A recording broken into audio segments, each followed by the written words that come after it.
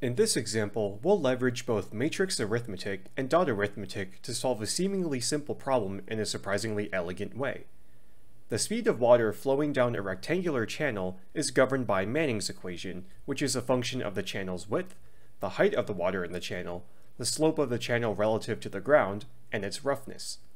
Suppose we have a channel and we want to see how the speed changes if we change the height of the water and the slope. We want to test water heights ranging from 0.1 meters to 1 meter in 0.1 meter increments at each of the three slopes, so we'll need to compute 30 total velocities. Although it may seem like you need to write some complicated code to compute all of them, it can actually be done in one fell swoop. First, let's create the h and s vectors as specified in part A.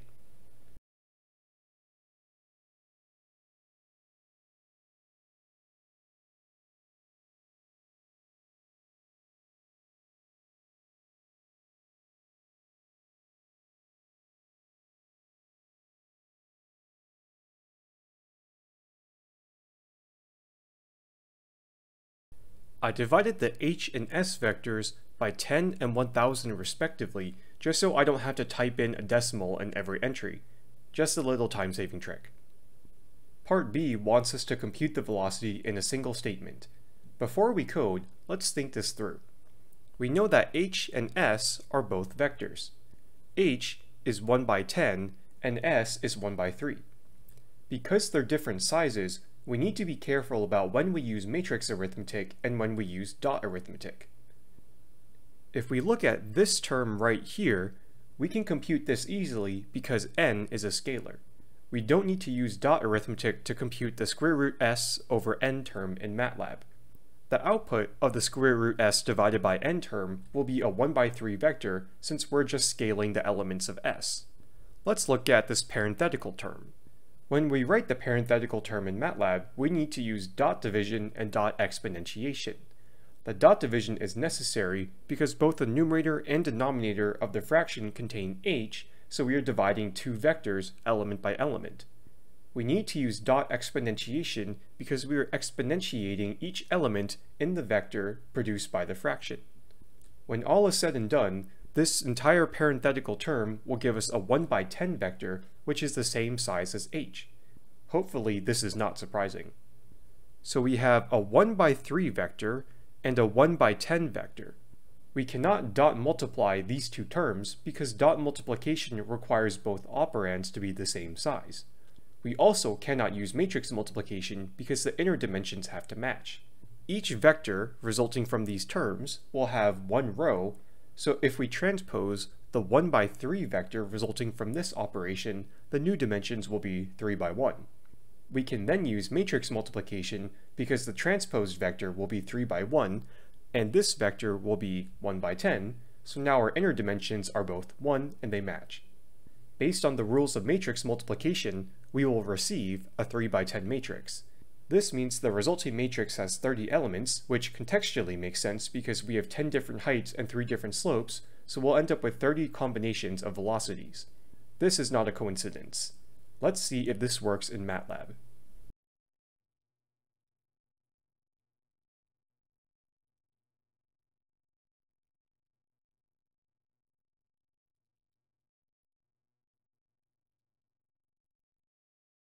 Here's the equation without any transposes or dots as we just discussed. We actually do get an output, but we immediately know it's not correct because v is 1 by 3, not 3 by 10. We end up with an output because MATLAB actually has an alternative use for the slash key. This is why you need to be very careful when dividing vectors or matrices. MATLAB will happily give you an answer even though it's contextually incorrect. If you trace the code, you'll find that the result of this expression actually yields a scalar. And when we multiply this scalar by the term square root s over n, we end up with a 1 by 3 vector that we know is incorrect. Let's try adding the dots to just the second half of the term as discussed.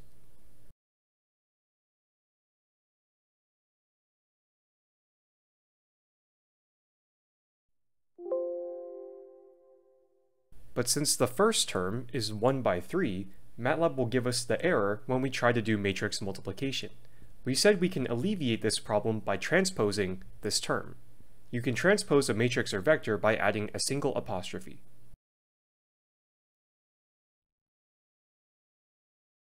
And now we get the desired 3 by 10 matrix. To recap, we need to use dot arithmetic here and here to compute this fractional term. But we need to transpose this term so the inner dimensions can match and we can matrix multiply these two terms. You might be wondering what each element physically represents. If you recall from the prompt, we have 10 different heights and 3 different slopes. Therefore, each row represents the velocity of the water at all of the different heights for one of the slopes. For example, the first value is the velocity of the water when h equals 0.1 meters and s equals 0.012. The next value is the velocity when h is increased to 0.2 meters and s is still 0.012, and so forth for the rest of the row. The element in the second row, first column, which is here, is the velocity when h equals 0.1, but now the slope is 0.015. This should make sense from both the context of the problem, but also from your knowledge of what actually happens during matrix multiplication. Part C tells us to plot v versus h for each of the three s values. It turns out that MATLAB is pretty smart. We can plot multiple sets of points if they share the same x or y coordinates. In this case, each row of the v matrix shares the same h values, so we can write the plot statement as if v is the same size as h.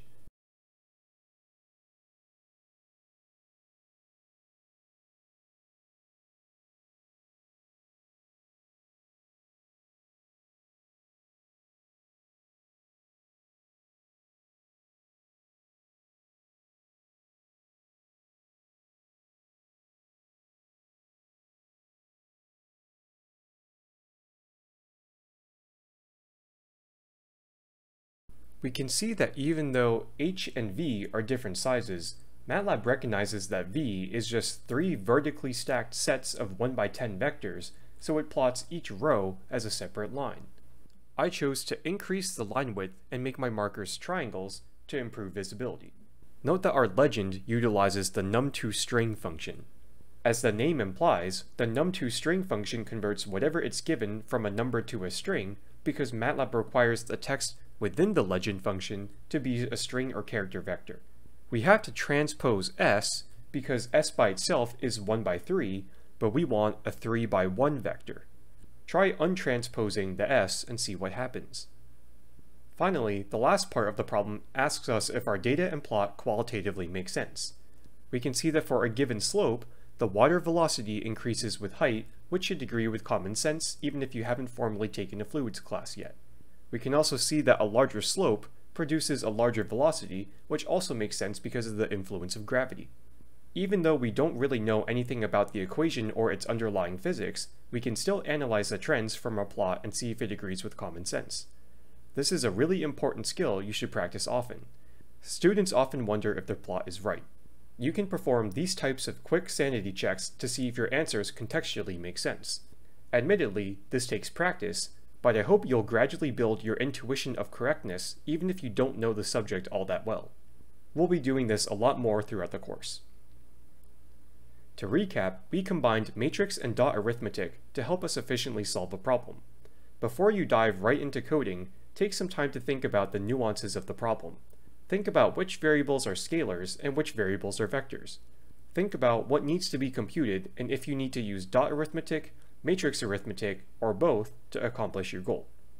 Going slow and steady yields more progress than rushing headfirst into the code without a clear plan or being cognizant of some of the subtleties within the problem. See you next time.